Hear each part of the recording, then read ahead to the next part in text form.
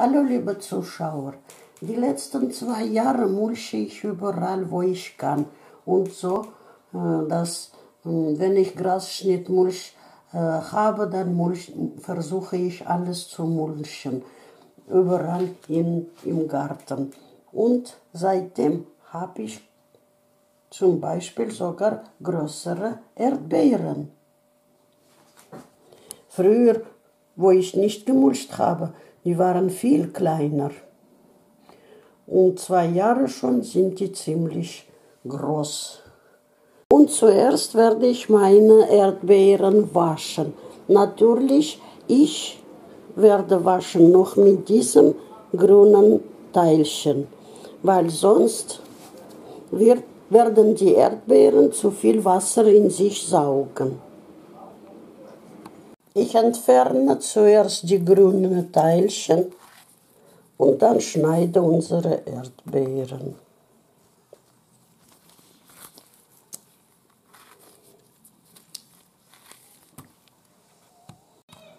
Da kann man jetzt geschnittene Erdbeeren sehen, aber ich habe diese Erdbeeren so grob geschnitten, weil ich die später pürieren werde. Warum werde ich pürieren? Weil meine Familienmitglieder so mögen. Die mögen pürierte, total ohne sogar kleine Stückchen Erdbeeren drin. Aber ich mag mit kleinen Stückchen, das wird die zweite Variante. Aber anfangs machen wir so total pürierte Erdbeeren. Aber zuerst müssen wir da Zucker nehmen. Wie viel Zucker? Ich überlege nicht lange.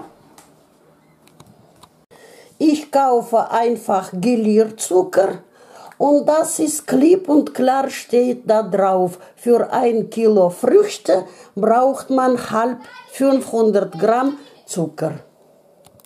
Meine Gläser kommen zuerst in die Spülmaschine und danach in den Backofen für 15 Minuten bei 100 Grad. Und die Deckel 10 Minuten köcheln, bis zum Kochen bringen und dann ungefähr 10 Minuten köcheln.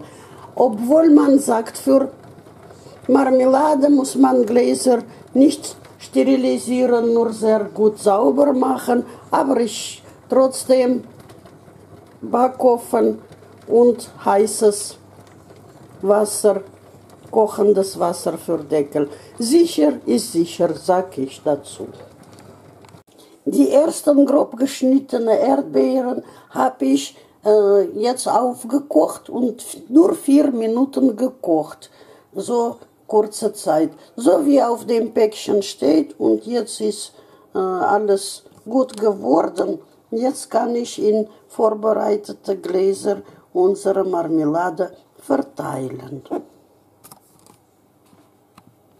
Hier habe ich klein geschnittene Stückchen von Erdbeeren und die werde ich nicht pürieren. Zwei Kilo Erdbeeren und ein Kilo Gelierzucker.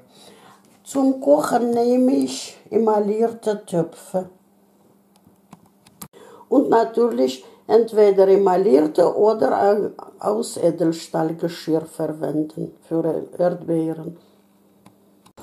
Da wird bald die Masse kochen und man muss natürlich Schaum sammeln und wegmachen. Und kochen muss man vier Minuten. Also so steht auf jeden Fall auf Zuckerpäckchen.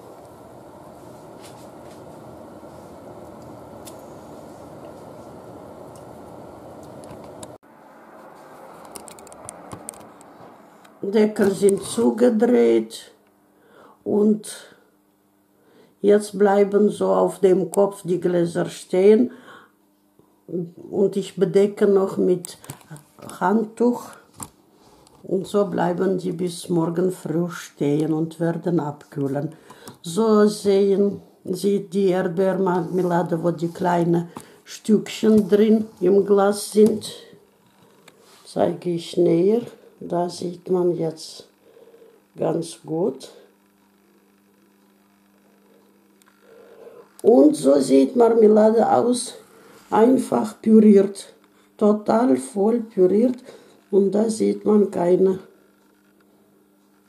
Teilchen. Alles wird Püree. Schmecken beide sehr gut, aromatisch und eigene Marmelade, eigene Erdbeeren, wo ich weiß überhaupt keine Chemie oder was Schädliches ist. Hervorragend. Erdbeeren sind die ersten Beeren im, am Anfang Sommer und deswegen sind die mir so wert und ich liebe die. Bestimmt mehr als die anderen Beeren überhaupt. Heute habe ich wieder genug gesammelt, aber heute sind die Beeren sogar besser als gestern. Gestrige, die waren äh, irgendwie ein mm, bisschen mit viel Feuchtigkeit innen drin. Da waren regnerische Tage, aber zwei, drei Tage, jetzt scheint nur die Sonne ohne Regen und die Früchte sind alle trocken, die sind sogar süßer und sehen bombastisch aus. Hier sind schon die gewaschenen Erdbeeren ohne Strunk und da muss man in jedes Glas so ungefähr ein Drittel vom Glas dazu geben.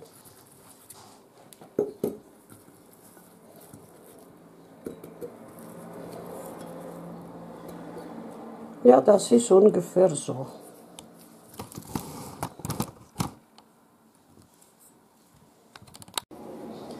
Im großen Topf habe ich Wasser gekocht und jetzt befülle ich die Gläser mit Wasser. Da befinden sich schon die Erdbeeren.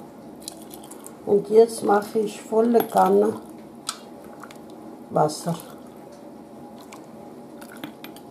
Und so weiter.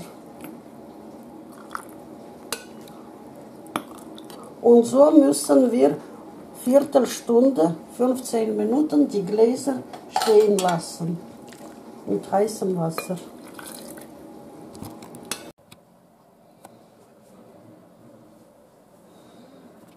Nach 15 Minuten mache ich folgendes.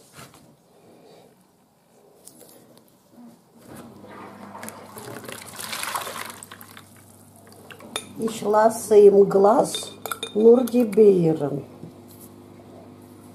Und das Wasser, schon hat Wasser rosa Farbe, mache ich weg.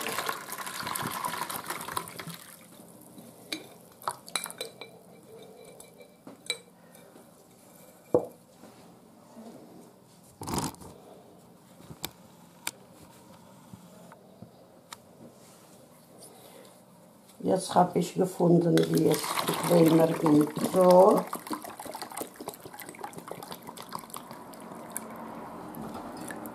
Und fertig.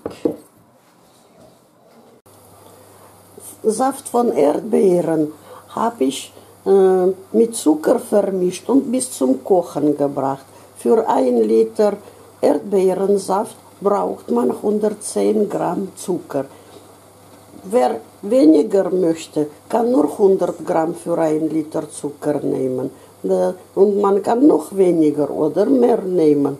Das ist Geschmackssache. Mir gefällt gerade 110 Gramm für ein Liter Saft. Jetzt verteile ich wieder zurück diesen Saft mit Zucker in die Gläser. Die Gläser sind voll, man muss nur die Deckel zuschrauben und Kopf überstellen und über Nacht so lassen, abkühlen, zum Abkühlen. Und so sieht das aus. So haben wir getrunken. Als wir klein waren in Russland, haben wir Pepsi, Cola, Fanta, sowas haben wir nicht gehabt. Und das beste Getränk, das war so Erdbeeren mit Zucker und Wasser aber lebenslang bleibt dieses Getränk für mich wie Allerbeste. Und so was Hervorragendes können Sie jetzt sehen.